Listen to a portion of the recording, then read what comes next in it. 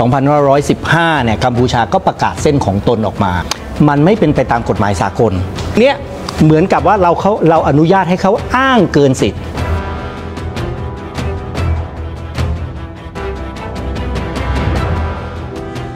การเจรจาพื้นที่ทับซ้อนทางทะเลระหว่างไทยกับกัมพูชาที่จริงก็มีคำเตือนรัฐบาลตั้งแต่ช่วงเริ่มตั้งรัฐบาลท่านนายกเศรษฐาแล้วนะครับ แต่ว่าช่วงนี้กลับมาเป็นประเด็นอีกครั้งหนึ่ง ส่วนหนึ่งอาจจะเป็นเพราะรัฐบาลชุดนี้ก็เตรียมจะผลักดันต่อให้คุณภูมิธรรมเวชเชยชัยนั่งเป็นประธานคุมคุยเรื่องนี้ ส่วนพลังพลังประชารัฐเองก่อนหน้านี้เคยอยู่พักร่วมรัฐบาลใช่ไหมครับ ตอนนี้ไม่ได้อยู่แล้วออกมาเป็นฝ่ายค้าน ปรากฏว่าฝ่ายนโยบายของพลังประชารัฐออกมาเสนอให้ยกเลิก MOU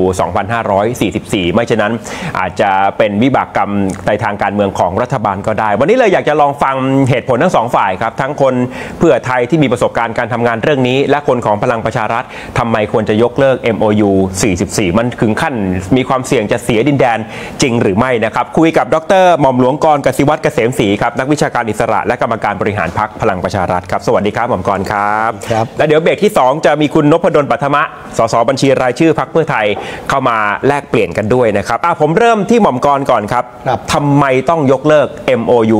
2544 ลองขมวดประเด็นให้คุณผู้ชมเข้าใจ ต้องเรียนอย่างนี้ว่าจริง ๆ การคุยกับกัมพูชาเนี่ยเราคุยมาตั้งแต่พศ 2513 มาก่อนเกี่ยวกับเรื่องเขตแดนนะครับเป็นประเทศแรก ๆ ในอาเซียนเลยที่เราคุยกัน แล้วจู่ๆเอ่อ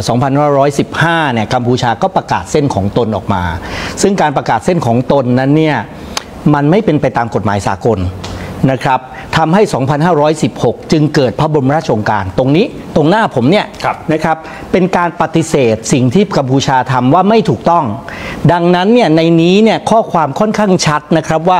เอ่อเพื่อใครที่มุ่งประสงค์ไปใช้สิทธิอธิปไตยในการแสวงประโยชน์จากทรัพยากรธรรมชาติชัดนะครับ ว่าจึงกำหนดเขตไหลทวีปตามพิกัดนี้เดี๋ยวมีแผนที่ด้วยนะครับ แล้วก็ใช้กฎหมายสากลที่เป็นยอมรับนับถือกันทั่วไปนะครับ อันเนี้ยเป็นตัวชัดเจนว่าเราปฏิเสธเส้นของกัมพูชา ที่เขาประกาศในปี 2515 ต้องบอกว่าอย่างที่ผมบอกว่าคุยกันพศ 2513อะคุยกันอยู่ดีๆ แล้วไปประกาศออกมา ซึ่งเราเห็นว่าไม่เป็นไปตามสากล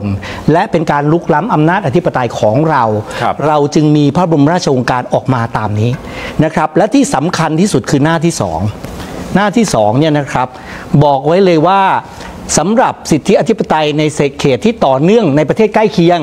ให้ยึดถือมูลฐานแห่งบทบัญญัติ อนุสัญญาว่าด้วยทะเล เจนีวา 1958 พูดตรงนี้อยู่นะครับ เหมือนรู้เหตุการณ์ล่วงหน้าเลยว่าเดี๋ยวจะต้องมีเรื่องว่าถ้าจะไปแบ่งปันกับประเทศเพื่อนบ้านอะไรก็ตามยึดกฎหมายด้วยนะอ่า ยึดกฎหมายด้วยนะ อันนี้ชัดเจนในสองวรรคเนี่ยมันมีความชัดเจนอย่างมากเกี่ยวกับเรื่องนี้ แล้วก็เกิดแผนที่นี้ขึ้นนะครับสองประเด็นก็คือว่าที่เราลากเราก็อาศัยอนุสัญญาเจนีวาถูกต้อง1958ถูกต้อง และถ้าจะมีใครมาอ้างสิทธิ์ใช่ก็ต้องอาศัยกฎหมายฉบับเดียวกันเหมือนกัน ถูกต้องถึงจะคุยกันรู้เรื่องถ้าคุณขีดตามอำเภอใจ แล้วเรายึดกฎหมายสากลครับแล้วมันจะรู้เรื่องไหม ดังนั้นเอ่อพระบรมราชโองการอันนี้ชัดเจนว่ารัฐบาลต่างๆ ควรจะปฏิบัติตามพระบรมราชโองการนะครับ จึงเกิดเส้นนี้ขึ้นเห็นนะครับ เส้นนี่นี้เส้นของไทย เส้นของไทยและมีเกาะกูดอยู่นี่ครับมีความชัดเจนนะครับ ถามว่าแล้วเส้นนี้เกิดจากอะไรก็เกิด กึ่งกลางระหว่างเกาะกูดกับเกาะกง อันนี้มันเป็นกฎหมายสากลอยู่แล้วว่า ให้ใช้เส้น equidistant หรือระยะเท่าระหว่างสองประเทศจะได้ไม่เกิดการเอ่อเป็นเกิดความเป็นธรรม ว่างั้นเถอะเกิดความเป็นธรรมในการที่จะแบ่งตรงนี้แล้วก็เดินเรือได้ครับแต่สิ่งที่เกิดขึ้นนะครับสิ่งที่เกิดขึ้น ผมอยากให้ดูของกัมพูชานะครับนี่ครับล้ำเข้ามานี่ อันนี้ภาพตาม MOU เลยนะ MOU นี่เส้นไทยสี น้ำเงินตามพระบรมราชโองการ ตามนี้เส้นกัมพูชาตามนี้ ถามว่าล้ำไม่ล้ำข้อที่หนึ่งที่ต้องถามเขาว่า ขีดด้วยกฎหมายอะไร เราก็กลับไปอ่านพศ 2515 เขาก็บอกว่าเขาขีดด้วยเจนีวา 1958 ครับ เชื่อไหมเขาบอกอย่างนั้น แต่เจนีวา 1958 เนี่ยมันมีอะไรสำคัญ 12 ไมล์ทะเล หรือทะเลอาณาเขตของเกาะกูด มันต้องมีมันหายไป นะครับ มันลากไปประชิดเกาะกูดเลย แม้ว่าจะเป็นเอ่อตัวยู จะบอกว่าอ้อมอ้อมเกาะก็กูดตามเนี่ยนะ จะบอกว่าอ้อมก็ตามเนี่ยนะ แต่ทะเลอาณาเขตตรงนี้หายไปไหนนะครับ นี่คือประเด็นปัญหาว่าการขีดเส้นเนี้ยไม่ได้เป็นไปตาม กฎหมายสากลใช่หรือไม่นะครับ แล้วมันขัดพระบรมราชโองการไหมถ้าจะหยิบยกเส้นนี้ขึ้นมาอยู่ใน MOU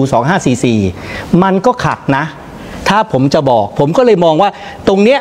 เหมือนกับว่าเราเขาเราอนุญาตให้เขาอ้างเกินสิทธิ์อ้างเกินสิทธิ์ไม่ใช่แม็กซิมัมเคลมนะโอเวอร์เคลมไปเลย เยอะ ๆ ไปเลย อันนี้ผมมองนะมันเหมือนเหตุการณ์ที่ว่าเหมือนตอนฝรั่งเศสยึดตราดไว้อะแล้วเดี๋ยวจะได้คุยเจราจาไทยจะได้ยอมส่วนอื่นง่าย ๆ อันนี้เรายอมให้เขายึดได้ยังไง ตรงนี้คือหน้าน้ำภายในของจังหวัดตราดนะครับ ตรงนี้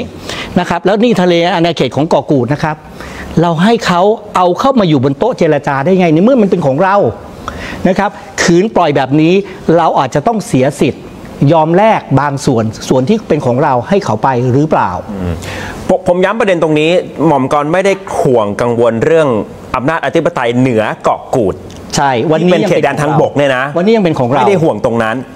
แต่ว่าไอ้เส้นเนี่ยมันไปกระทบเอำนาจอธิปไตยนอกชายฝั่งของเกาะกูดถูกไหมครับ ต้องบอกว่ากฎหมายสากลเนี่ยเขาบอกทะเลอาณาเขตมีค่าเท่ากับแผ่นดิน 12 ใบทะเลเนี่ยเขาคิดเหมือนแผ่นดินเลยนะ อันนี้ของคุณหายไปแล้ว ต่อไปถ้าเขาเคลมตรงนี้ได้ เขาอาจจะเคลมเกาะกูดในวันหลัง ในวันหลังนะที่ไม่ใช่วันนี้ก็เป็นได้ เพราะว่าเรายอมแล้วนี่ เราไม่มีแค่ทะเลอาณาเขตแล้วนี่ทำถ้าเริ่มจากนี้เนี่ยมันอาจจะเป็นการรุกไปข้างหน้าต่อไปในอนาคตหรือไม่ ดังนั้นเองผมก็จึงเห็นว่าจริง ๆ แล้วตรงเนี้ยเมื่อเขาไม่ได้เดินแบบกรณีไทยมาเลเซีย ไม่ได้เนินแบบไทยเวียดนาม ซึ่งสองประเทศนั้นเขาใช้กฎหมายทะเลคุยกับเรา ผมถึงไม่มีปัญหาอะไรเลย แต่วันนี้ถ้าบอกว่ามีคนโอเวอร์เคลมในสิ่งที่ไม่เป็นไปตามกฎหมาย แล้วเราบอกยอมมาคุยกันก่อน จะได้คุยกันเนี่ย